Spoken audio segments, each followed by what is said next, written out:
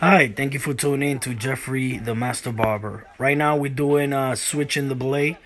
As you can tell in that one, that blade right there, it bend. The reason why this blade bends, because it's definitely too thin, and and it does blend, uh, bend. Believe it or not. And when you know we don't we don't want that. We uh we're gonna get the same one. This is a Fade Master Andis. That uh we, these are the tools that we're gonna use. We're gonna use a Phillips screwdriver. We're gonna use Cool Care and um, also we're gonna have a, a little brush to clean it because I'm sure there's gonna have some hair so like I said this machine um, the Andis 90 edition comes with a, a thicker blade it, um, it's the to take bulk but this one I switched it before to the what it is right now the Fade Master and you see the gap right there that that gap is not good. It still work, but it's still not good because with that space and the other T right there, you see that T in that space. It, when you're doing a fade and someone has a big porises, could go inside of the porous, and and that's not a good look. You you want nothing but the best for you client. They pay you and you want to make sure that you, you give them the nothing but the best. So right now we're gonna fix that. We're gonna spend that 20 25 30 dollars on the blade and we're gonna replace it with a new one. Um make sure you put a see is i clean my, my my machines weekly but just because i clean it weekly I, I go through a hundred clients a week at least. So they are bound to get always hair you know what i mean? You it, it, it, even if you clean it weekly they will get hair back in you know what i mean? Just because you brush it outside and, and you put uh, lubrication and coolant that doesn't mean that it's it's just clean. So every week if you can or every two week you know just uh take the time to calibrate it uh clean the blade inside take it out. Don't just wait for the uh, also for the um something to happen in order to clean it. But um just clean, clean it where you can. These are the, the blade that, that we're gonna use. As you see me uh, I took it and I cleaned the other ones. And um see this is the replacement blade from um from the machine that's actually right there. It's the same machine same engine. The only thing that changed is the blade. The blade is uh it comes in this box right? So we're gonna um this is the review by the way also on the Fade Master um blade right? And um excuse me by my voice. I've been a little sick under the weather so um yeah this is you see it's, everything is brand new. It's the same same thing. You know what I mean? That actually the old one the, eh, the teeth are fine. There's no broken teeth or no bent teeth so we can just keep them so we're gonna put it aside and we're gonna put that one aside. Now we're gonna show you actually look this is how the blade looks. See? This one is perfect. No bending it's beautiful. It's brand new. Now, then now this is the dirty one. Uh we're gonna clean it you know? Like i say i always clean mine week or every two weeks you know? Because once you have it to sit in it takes 15 minutes to sit in and, and and get it right get calibrated clean and everything. So see we just that's all it takes you know? And then obviously you would have put some andy and, and whatnot but since we're not using it i'm just look you see where you can see like, that is is bent compare how it's supposed to be? To in order to get that crispy nice sharp fade you want everything to be perfect on point nothing broken nothing nothing bent. So we're just gonna put this aside. Um that right there is still usable. So we're gonna put that in there and we're gonna wrap it up. And I, am gonna put it aside on my box of you know my little young yard in case if I do ever that other one broke for some reason or anything I still have a little backup. Not the big blade but the small blade. So always save it because it's still in good condition the the the little one. So you know that you have it put it back in its container so you know that it's still like presentable instead of throwing it. Uh, also we're gonna clean the inside of the machine. Right now we're gonna take the time to do that. And what we're gonna do is we basically we're not we're gonna brush it you know? Um the machine is unplugged in case if anybody wondering you have to make sure that it's unplugged. All right i'm gonna get to this thing. This is the lever right? That lever this is where you put it up and down right? And you see i got it right there to the way that i like it. It doesn't move it's not too hard or not too soft. But if in case you wanna ever wonder how to, put it too tight or too slow you see those four screws you tie it little by little each and screw and check it and and it will firm that base right there.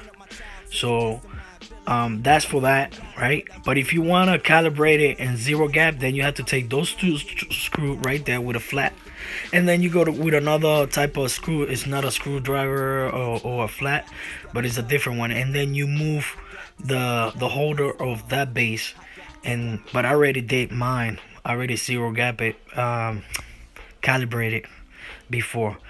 Um we're gonna like I said clean them again make sure everything is nice and clean. And um we're gonna put it and, and this is where it goes. Like i say we're gonna use coolant uh cool care it's five in one disinfected uh you know clean it let the little bit inside to kind of lubricate and disinfect and all that. You don't have to put a lot and even if you wipe it you still the inside will get some and and and it will work just fine. Um then you put the the little blade right there right? Once it's right there this is how it's supposed to look. Nice and flat and even. Right? Now we're gonna put the other piece on top. Right? And once you um put that you're gonna put the screws but you don't not you're not gonna put it too tight. You're just gonna put it enough so we could then adjust everything and and have it the the way that it's supposed to be. But as of right now i feel like i'm drunk. I can't even uh, but yeah now right there once you have it see it's all crooked and whatnot but see it's not tight but that give me the freedom to now to fix it. First thing that we're gonna check is that you see the width right there? That side is a little bit uh, less than that and then that side. So we're gonna try to make sure kind of make it right even that's the one side the first point. Sec you know make sure that. Then the second part is to um the second tip of it is to make sure see once you have it there then you got to make sure that it's not too tight. You know you want to have right there that side is, is thick but that side don't have no no teeth. That means that i still have it right see like right there it's not it's still too tight zero it's still zero gap. So that will cut somebody. That's that is not good. See how it, it, it keep moving? Is because i'm trying to make sure that i get it to the level that is gonna be with the that we're gonna have. See right there right right there is is with even though it's not the same space all right at top it does have the the space that I need. Now see it has a little space and it's completely see even right there where I'm showing. But it's still a little bit too tight to me. Just want to get a little bit more out. You don't want to zero gap because like I said see you see how that blade is more out and that one is in? That's how it's supposed to. But still to this point it could it could cut someone. So um at this point, I'm just gonna tie tie it, right? We're gonna tighten the screw.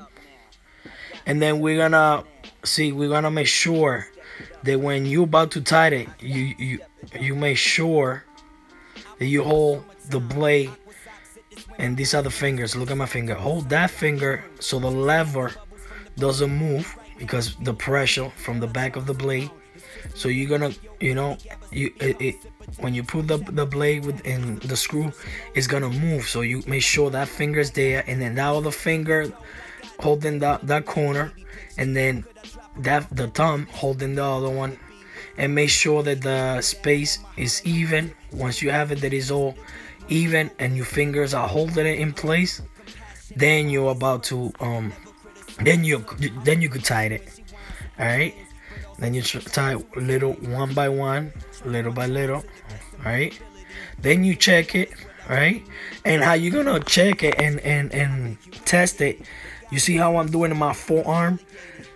The forearm is very sensitive. It's like the neck. And that's where normally you will pass it and if eh, and and that if it bothers anybody in the neck it will bother me right there in that section. So right now it bothered it, it really did bother me a little bit. It was still pinching me. See like right now i could feel it. I'm testing it. So if i pass it to a neck and i'm feeling that little pinch on the on see I, i'm pointing right there that it's pinching me. See that it's pinching me more on the on the on the left side. See on that part where i point that part right there that blade is pinching me right there. So if it's doing that to me a margin to decline so i just want to be safe than sorry. So now we're gonna go even if you have to again and don't lose it do the whole thing again. Do it do it how many times it take you and until when you tried it in your forearm and you don't get that pinch then now at this point I got it right. It took me like two, three times, but I'm not I didn't record it. But you see that gap right there?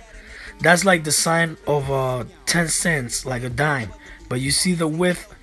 That's perfect right there. You know what I mean? Like you don't want it you don't want it to to be zero gap because trust me, it will cut somebody, it will bother. But you see the space? Even if it's still a little on the side or whatnot, it's okay as long the blade is straight. Right now at this point i'm trying it again and as you could tell i'm putting a lot of pressure and there's no red marks and i'm putting a lot of pressure and at this point look i'm passing it the, the hairs. People are like you crazy. All right i'm a barber. I gotta do it with me than anybody else. If i'm gonna test it I'll test it in me. If and if i get hurt i gotta get hurt than my client. I look out for my client before uh, before anything happened. So I hope uh, yeah, just put um also clean it. Make sure you clean it. Even if you uh put some cool care and then you wipe it off, don't worry. It still will get sanitized and lubricated. You will not take some off. But I hope this uh has helped you to set your handy blade. Please share it, give thumbs up, and uh, subscribe to my channel. Leave any comment below, any question, please feel free to let me know at any time. Thank you again and have a great night.